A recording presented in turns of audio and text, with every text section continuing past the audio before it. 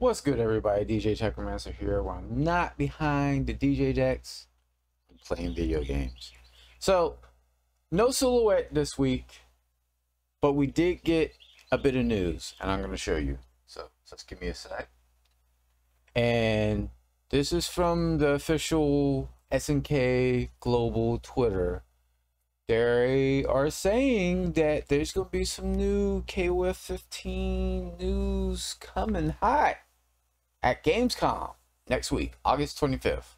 So can't wait to see what they're gonna bring to us. Hopefully they'll have like a uh, not a beta, but like an alpha build with current roster or maybe some more characters. They probably gonna announce some more characters and show off some things at Gamescom. That's what I'm hoping at least. Or they might just do a character reveal and show us some stuff with new characters and talk about what they plan to do with this version of KOF 15 and maybe like plans of like what the full roster is going to be and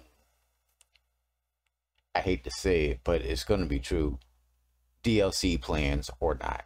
I know a lot of people are like why can't they just have the full game? Unfortunately, we are in the age of fighting games no longer has the full roster. You have an initial roster and everything else is DLC. It is what it is.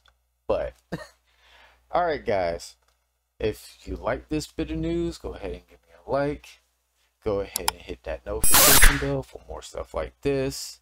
And till next time, peace, love, and stay gaming, my friends.